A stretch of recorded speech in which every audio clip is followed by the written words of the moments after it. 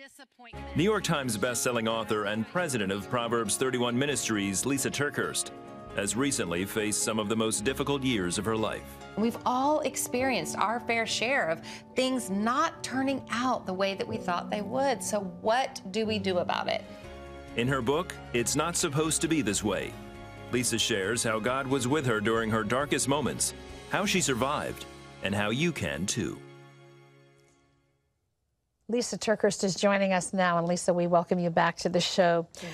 You. have been through so much in the last couple of years, but after 25 years of marriage, let's start with that. You you discovered something that really shattered your heart, your dreams, your vision of what your life was supposed to be. Share that. Yes, well, I found out my husband was being unfaithful, and that's definitely not something I ever thought we would face. Mm-hmm. Um, and so, not only did I feel devastated personally, um, but I was also just desperate to know what to do in my position at Proverbs 31 ministry. It just all felt impossibly complicated. And at the same time, probably the deepest grief of all was I wondered if this would be the unraveling of the Christian mm. legacy that we'd built into our five children. Yeah. So it was very hard. 2016 was that year of extreme highs and extreme lows.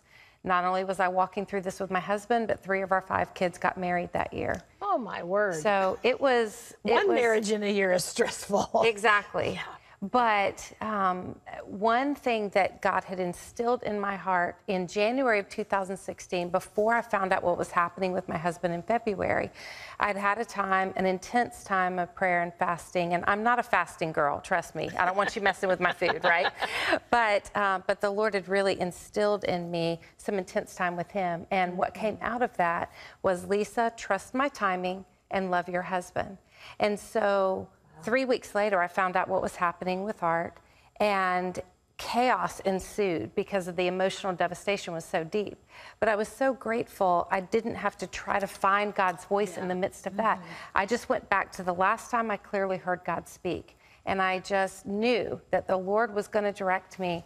Um, but the tears were immense and the grief was deep. Yeah. Uh, how did you begin the move forward from there?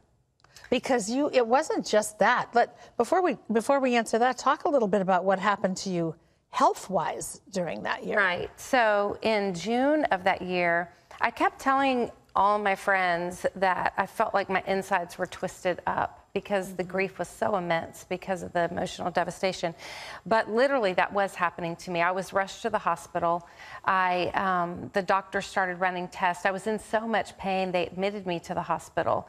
And um, the doctors kept running tests and kept saying they couldn't figure out what was wrong with me. So that was on a Monday. And so I laid there in pain Monday, Tuesday, Wednesday, Thursday. Friday morning, a surgeon came in my room. He said, We ran one last test and we know what's happening. Your colon is ripped away from the abdominal wall, twisted around itself, cut the blood flow off. And had God answered your prayer to take away the pain, you would have gone home, your colon would have ruptured, and you would have wow. died. Wow. And it was in that moment I recognized God loves us too much to answer our prayer at any other time than the right time and in any other way than the right way. They rushed me into surgery, they removed most of my colon, they saved my life. But I had a different view of God walking through not just physical pain, but emotional pain. I knew we serve a good God who allows hurt, but we also serve a good God who allows hurt, but who will use that hurt for good, even if we can't see what that good is. And sometimes we, I mean, your story is almost like Job's. Just when you think this can't possibly get worse, yes, then you get a breast cancer diagnosis. Yes. I mean, at that point, Lysa, did you not just wonder what in the world is going on in my life and my world? Of course, I did. How did you handle that? Well, uh, you know, in those first initial moments of shock, my feelings wanted to run ahead of my faith. Mm-hmm. And I had those questions everyone has when you go through difficult times. Why me? Why this? Why now? Where are you? And yeah. where are you, God? Um, but I, I, think as I was driving home from that diagnosis, I had an honest conversation with God. I said, God, you know, people already know what I'm walking through um, with my marriage and with my other health issues, so they're going to be really upset And you need to give me some answers because I don't even know what to say to people. And I'm really upset. and uh, I, I want to know, like, I want to know why is all of this happening and what are you doing with this? Mm-hmm. But you know, Terry, God doesn't want to be explained away. Yeah. He just wants to be invited in. Yeah. And I still don't know why all of this happened. I may never have those answers. None of us may ever have the answers that we're looking for. But what I do know is God has not cursed me with this, mm-hmm. He has entrusted me with this, with this season of devastation. And I am determined to walk toward a God who can use it for good. And so I don't know the answers, but I know my God is trustworthy.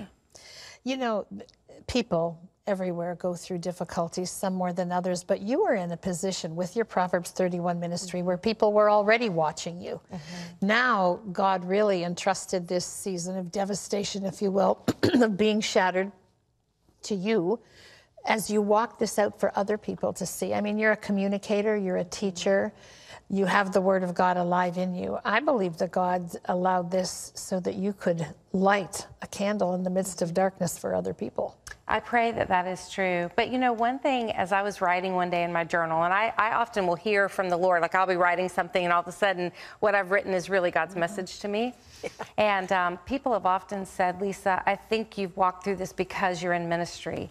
And one day in my journal, what came out is, no, Lysa, God placed you in ministry all those years ago because He knew you'd walk through this. Mm-hmm. And so, what a good thing that God has done for me personally, all these years to have been surrounded by faith filled people, good teaching, and to have personally let all of these truths be in me so that they could come out of me. So, I think it's both well, for when, me and for them. When the little boy sacrificed his lunch, mm-hmm. God broke it and fed the multitudes. Yeah, that's what he's doing with your story, stories. Well, the book is called It's Not Supposed to Be This Way. If you're going through a difficult time, a struggle, figure out how to get back to God. This book will give you the direction for all of that. It's really a wonderful read. Thank you so much for sharing with us.